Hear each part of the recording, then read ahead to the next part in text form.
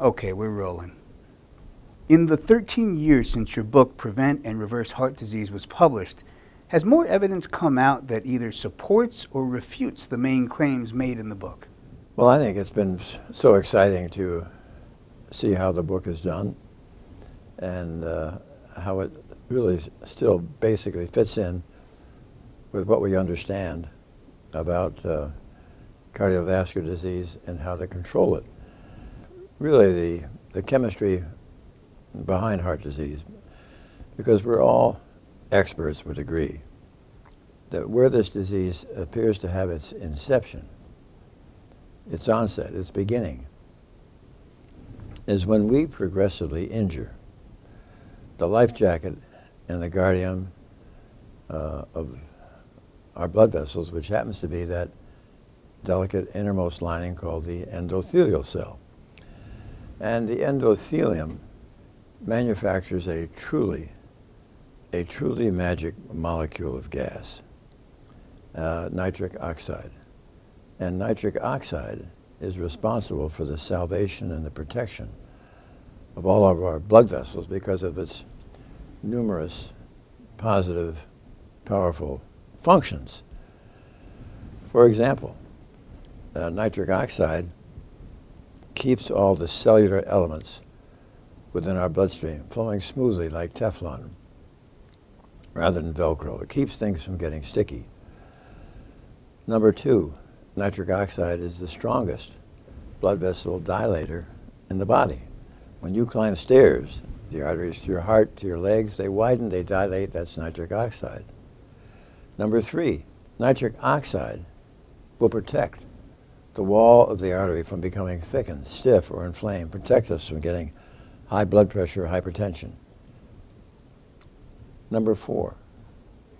Now, number four is the absolute key. A safe and normal amount of nitric oxide will protect us all from ever developing blockages or plaque. So literally, everybody on the planet, whether they are from London, Berlin, Chicago, New York, or Cleveland, or Dallas, if they now have heart disease, it is because in the previous decades, they have now so sufficiently trashed, injured, compromised, and turned their endothelial system into a train wreck they no longer have enough nitric oxide to protect themselves from developing blockages and plaque. But the good news, this is not a malignancy. This is a completely benign foodborne illness. And once you can get patients to stop ever again passing through their lips additional foods that are going to injure further an already train wrecked endothelium, then the endothelium begins to recover, makes enough nitric oxide so that not only can we halt disease progression, but we may often see ev evidence of disease reversal. Now, the obvious question, therefore, is what are the foods that every time they pass our lips we injure the endothelial cells? They are one, any drop of oil. Olive oil, corn oil, soybean oil, safflower oil, sunflower oil, coconut oil, palm oil, oil in a cracker, oil in a piece of bread, oil in a salad dressing. To reinforce this whole idea and concept, I wrote an editorial in the International Journal of Disease Pre uh, Prevention and, and uh, Reversal uh, from 2019 and the title of this was, Is Oil Healthy? And I go through the animal studies as well as the human studies showing how oil injures the endo endothelium. So that means what are you going to eat? You're going to eat all these marvelous whole grains for your cereal, bread, pasta, rolls, and bagels. 101 different types of legumes, beans, lentils, all these marvelous red, yellow, and green leafy vegetables, and sweet potatoes, white potatoes, and some fruit. And there are many recipes out there available in my book, the one by my wife and my daughter, John McDougall, Neal Barnard. They're just a, a bunch of wonderful recipes. Food that looks good, smells good, tastes good, and is going to actually enhance your health, not destroy it. Yeah. Now, there is another wrinkle in all this that's pretty important.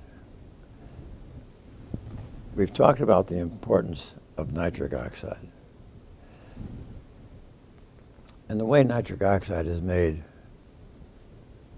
early in our years and the way that we sort of are born with a powerful nitric oxide producing factory, type 1 of nitric oxide production, which is our endothelium, the lining of all of our blood vessels.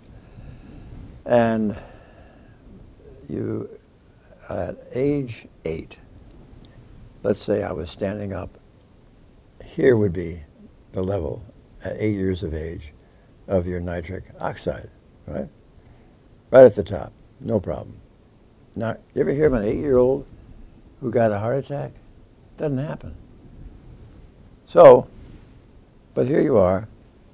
Now you're 24 years, oh, you've lost some of your endothelial production of nitric oxide. You're 24 years old. You get hit by a bus. You die. At autopsy, they see what? The foundation for coronary artery heart disease. Not enough for a cardiac event yet, but there you are at 24, already with a disease getting established. You continue to eat that way, and now you're in your 40s and 50s. Now we start to see these clinical cardiac events, heart attack and stroke, because the disease has now progressed to that extent. A disease which we have been developing since childhood. So we want to be as kind as we can to this endothelium. So one of the things that I do for new patients with cardiovascular disease, I ask them to imagine shrinking their head to a size that it could fit inside the arteries to your heart and find and look at the blockage, it would be an absolute cauldron of oxidative inflammation. So we need antioxidants, but no, do not go down to the health food store and buy a jug of pills that says antioxidant because it doesn't work and it's going to be harmful. We need you to get your antioxidants from food. Fair enough. What food? Food that is high in what we call ORAC value. O R A C. Oxygen radical absorptive capacity. So if you're having raspberries, blueberries, strawberries, and blackberries with your morning oat cereal. That's a terrific start.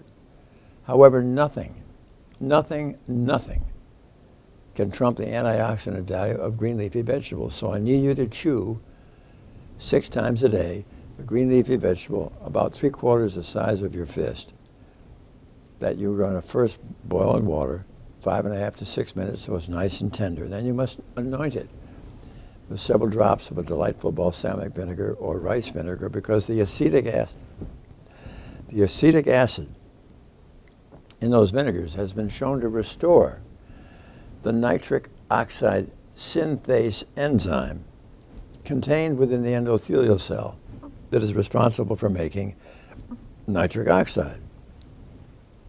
Now, therefore, you're going to chew this alongside your breakfast cereal, again as a mid-morning snack, again with your luncheon sandwich at 3, mid-afternoon, four, dinner time, five, and I adore it when you have that evening snack of kale. What are you doing?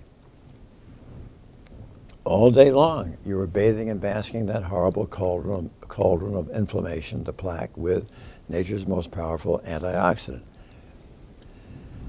Now, that's number one. That's the original nitric uh, pathway from our endothelial tissue, which now, we really ought to address the second pathway because, as I said, the first pathway, by the time you're 50, there's only 50% of that left compared to what when you were age, what was there when you were age uh, 25. When you're over 75 to 80, you've lost close to 70% of that number one pathway. And nitric oxide is such a valuable molecule. It's been exciting to, to understand how we can uh, use a second pathway that the body makes available to us that is just really sort of emerging in uh, clinical awareness, and that is you do the same thing. You chew the green leafy vegetable. But when you're chewing the green, you are chewing a nitrate. As you chew that nitrate, it itself is now being reduced by these facultative anaerobic bacteria that reside in the crypts and grooves of your tongue. That green nitrate you're chewing is now being reduced to a nitrite. Now, when you swallow the nitrite, your own gastric acid reduces the nitrite to more nitric oxide. So which is a very uh, powerful and exciting pathway. And obviously, while you can improve it with one dose of arugula, or one dose of beet greens, or one, one dose of kale, if you have it, again, as six times a day, yeah, you're really you're, uh, actually uh, optimizing the capacity of this second pathway. So this is uh, something I think is so important and essential in treating these patients to have them recognize what, uh, what the importance of this is. Now, you might say, well, what, a, what are the greens that I'm talking about? They are bok choy, Swiss chard, kale, collards, collard greens, beet greens, mustard greens, turnip greens, Napa cabbage, Brussels sprouts, broccoli, cauliflower, cilantro, parsley, spinach, and arugula, and asparagus. And the top five are kale, Swiss chard, spinach, arugula, beet greens, and beets. Uh, pretty exciting stuff. Is it really possible to be heart attack proof? Is it possible to be heart attack proof? I don't think there's any question that when you are eating this way, you are really restoring and maintaining what I would call an endothelial fortress. So if you have an endothelial fortress, even if you've got cholesterol that's higher than many of the societies in medicine suggest, or maybe you've got an ApoA type of cholesterol. If your, if your endothelium is an absolute fortress, you've made yourself heart attack proof. Especially, you know, by not eating foods that are going to injure it. And, uh, and that can be done. And that's what we, why we see so many cultures on the planet where heart disease is almost virtually non-existent what makes you think a whole food, plant based diet is the optimum diet? Many doctors recommend paleo, low carb, Atkins, or keto diets. Why is there so much debate? Do you know something they don't? What we have to do is when you see uh, all the different magazines, books, television shows about all these different diets, I, I always like to refer to what my good friend John McDougall said about that plethora of other things out there that are bestsellers. And he said this people love to read good things about their bad habits. And what I always suggest to patients if they have a confusion is look at the author and see what research they have done and whether they have been able to publish their research in a peer-reviewed scientific journal. Because that really is almost a basic minimum to get uh, clarity on the authenticity of the research. But if you were to ask me, are there, uh, what the studies that have taken patients who are seriously ill with heart disease, put them on a diet and have their disease not only be halted, but see evidence of disease reversal. I don't see that we've ever seen that with a DASH diet. We've never seen it with a Mediterranean diet. We've never seen it with a paleo, paleo diet, keto diet, Atkins diet, Barry Sears diet. I mean, these are all kind of reputable people, but uh, if, you're, if you were somebody out there trying to find a diet which seems to have the best track record, as a matter of fact, if, as far as I know, it's whole food plant-based nutrition is the only nutrition, both as an Ornish's study and our study, that will take and reverse heart disease. In October of 2015, the World Health Organization said red meat has the same level of carcinogenicity as smoking cigarettes. Please explain this. Well, this has taken a, a number of studies, but it's increasingly apparent that when you look at the larger studies that are available out there, there's no question that uh, red meat has simply earned this reputation by uh, apparently there's something sufficient about animal protein in red meat that leads to the development of cancer of the large intestine at a much greater rate. And those, and that's been replicated on a number of occasions, enough so that everybody in the World Health Organization from around the world was able to put together a consensus that red meat had the same level of carcinogenicity, the threat of getting cancer, as did smoking. End of story. In terms of heart disease, is there a difference between eating beef, chicken, turkey, fish, cheese, milk, or eggs? Yeah, it's a question of whether you want to be shot or hung. yeah, you can get heart disease with either one of those. In chapter 7 of Prevent and Reverse Heart Disease, what did you mean by, why didn't anyone tell me? Sadly today, with all due respect to my cardiovascular colleagues, when they go through medical school and when they go through their postgraduate cardiology training, they really don't spend much time, if any, about nutrition. As a matter of fact, when I find sometimes that I'm presenting my presentation on reversing heart disease, and I talk all about the endothelial cells and nitric oxide, they, they're a little bit bewildered. That's not something they hear much about at all. They never communicate it to their patients. This is the kind of story that I frequently hear from a patient. First of all, all the patients that I see are self-referred. They're not referred by their doctors.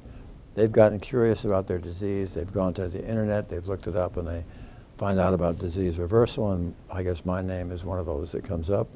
They come, they see us, they hear all about this, and they really go after it. And they, two or three months later, when they're back home, they uh, they see their doctor, and the doctor says, "Oh, your blood pressure is coming down. We're going to have to reduce your blood pressure medication." You've lost some weight, your diabetes is going away. We're going to have to reduce your diabetic medication. Oh my goodness, your cholesterol is really starting to fall. We're going to have to decrease your cholesterol lowering medication. But that's good. It's being done in the hands of an expert who recognizes that there's less need for these medications. And then uh, the patient is being congratulated by their doctor at home for what they've done. And the patient says to the doctor, why didn't you, why did I have to go to Cleveland to learn this? Why did, uh, and see Dr. Esselstyn? Why, why wouldn't you, why didn't you share this with me? And he said, well, I gave it up. I tried it a few times, but nobody would seem to follow it.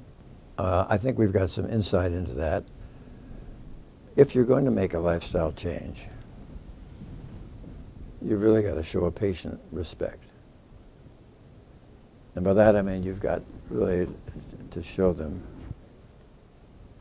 your time. If you think as a physician that in a 12 or 15 minute office visit that you're going to get a patient to make a lifestyle change, you've been smoking something. That doesn't, that ain't going to happen. But when you do take the time, well, for instance, right now, We do this in groups of 12 or 14 patients on a single day. It's a six-hour seminar. And in that six-hour seminar, people are going to get information about how they have created their disease and precisely how uh, we're going to make them empowered as the locus of, of control to halt and reverse their disease. Yeah. And at the same time, everybody gets a hefty notebook. And in that notebook is a copy of every PowerPoint slide that I used, several of our scientific articles, a 44-page handout with many additional recipes that add to the 240 which are in the two books that we're going to give them. They also have a hour and a quarter presentation from a marvelous woman with 30 years experience acquiring and preparing plant-based foods, dealing with reading ingredients, travel and restaurants. And then everybody at the seminar is going to get a hefty notebook that has a copy of every one of my PowerPoint slides as well, I mentioned. Then everybody is going to hear now from two or three local or regional participants who had a, uh, who've had a, previously had a successful experience, who share their story with those in, in attendance, so those in attendance can say to themselves, listen, if he or she can do this, I can do this. And uh, then we have a wonderful plant-based luncheon and, and stay in touch as necessary with uh, email uh, or phone call. And yet, the, the way it's established now, I never try to drive a wedge between the doctor at home and their patient. Because as I mentioned, that we want those doctors to monitor their medication and reduce, reduce it as appropriately, yeah. Why do you say we've built a billion dollar health industry around an illness that does not even exist on half the planet? Yeah, that's uh, something that I think is increasingly an embarrassment to the medical profession. If you go to work as a cardiologist in the Papua Highlands in New Guinea, Central Africa, rural China, Okinawa, you better plan on selling pencils. You're not going to have any business. They don't have heart disease. Why? They're all thriving on whole food, plant-based nutrition. And uh, it's not a billion. I mean, the, uh, there are two University of Chicago econom economists, Topel and Murphy. And writing in the University of Chicago Press in 1991, they estimate that if we get rid of heart disease in this nation, we will save 40 trillion dollars. That's not talking about hypertension, diabetes, right? Strokes. Get rid of cardiovascular disease. 40 trillion. What would that do to our national debt? what research or studies convinced you that a whole food plant-based diet is ideal? What, what convinced me? I think uh, there's no question when I was when I was doing this global research to find out the cultures where breast cancer was less frequent, uh, it became apparent that there were cultures where cardiovascular disease was virtually unheard of. Colin Campbell went over two, uh, 250,000 death certificates in a province in China, not one heart attack. I mean, pretty amazing stuff. Now, China, if you look, that's rural China. You go to urban China, you go to the large cities, Kentucky Fried, McDonald's. I mean, we are giving them the gift of hypertension, diabetes, obesity, and higher rates of cancer. Yeah, it's it's pretty atrocious. what, uh, what has happened. But if the, as soon as we can really get the cardiovascular community on board, uh, because they have got to be taught in their training about how to really what is the causation of this illness that they have been designated to treat. Can you summarize everything we've talked about here today in 15 seconds? Coronary artery heart disease is nothing more than a toothless paper tiger that need never ever exist. And if it does exist, it need never ever progress. This is a completely benign foodborne illness. What's the one thing I need to do today? Recognize what are the foods that are going to destroy your endothelium every time they pass your lips and get rid of any drop of any oil, right? Anything that's meat, fish, chicken, fowl, turkey, and eggs, and anything that's dairy, milk, cream, butter, cheese, ice cream, and yogurt, and sugary foods, sugary cakes, pie, cakes, pies, cookies, stevia, agave, excesses of maple syrup, molasses, and honey, and any overdosing of nuts, peanut butter, cashew sauce, so forth. What is it about the real truth about health conference that makes you want to come here and speak? Well, the, reason I uh, come to this conference, I appreciate the the depth and uh, of, of energy and of uh, vision that this conference seems to have for trying to communicate with the public uh, the message about health, whole food, plant-based nutrition, and and how they can best articulate this message for the public. Uh, to me, that's powerful, rewarding. I don't come every year because I don't want people to get tired of me. but, uh, but often we can get some new wrinkles to our message uh, every other year and, and hopefully uh, be a part of the team that's helping people. For people that want to learn more about your work, where should they go? My website, dresselstyn.com.